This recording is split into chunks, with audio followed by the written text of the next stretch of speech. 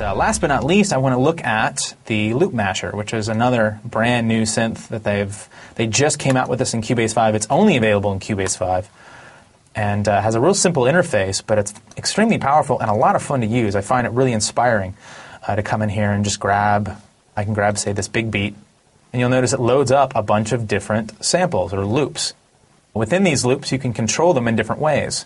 Down here on the bottom left, you'll see these are different presets. So as I select them, they're actually bouncing between the different, the different, uh, different loop sets. So the idea behind this, I'll turn off sync and I'll just hit play.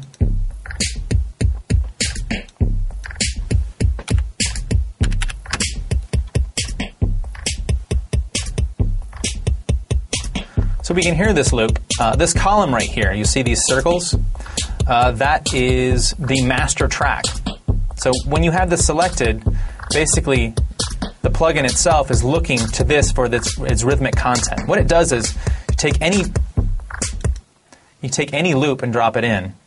It analyzes it. It goes through this analysis process and uh, sort of tags it in different ways. And what you can do is drop in several different loops into this. We have up to eight tracks that we can work with and it analyzes each of them. And what it does is it goes through and finds some commonality between it, rhythmically, sound wise, pitch wise. And it's pretty intelligent in terms of the way it works. You can use these sliders to go back and forth so it will impart different characteristics of different loops. So if I drag them all the way down, it really doesn't provide much sound at all. I'll just drag these all down and I'll hit play. Right now we're just listening to this drum loop.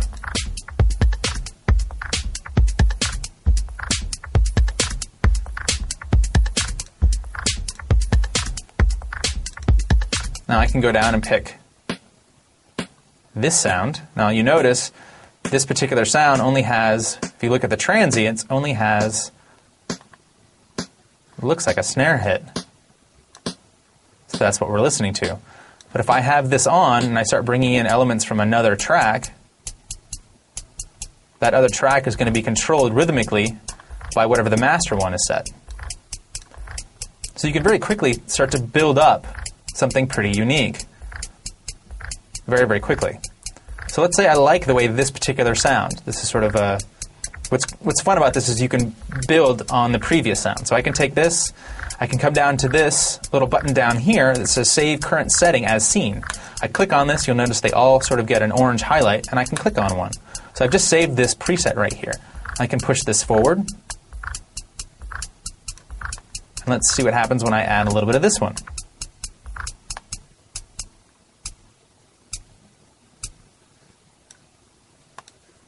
Interesting. Let's make this the focal point.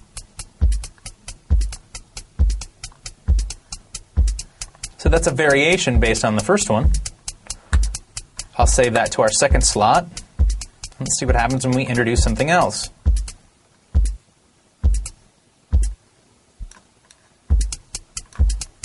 We'll make this one the focal point. And we can save that one as a preset. Now it is possible to bring in a, a loop from an outside source. For instance, if I were to go up to my uh, audio pool, I'm just going to slide this down out of the way for a second, and I'll open up my audio pool, which is right here. And in my audio pool, I can hit import and grab, oh, I don't know, any kind of drum loop. There it is. I can grab this and drag it onto a loop there. It'll analyze it. I can pick a different section of it, or I can introduce it. I can make this the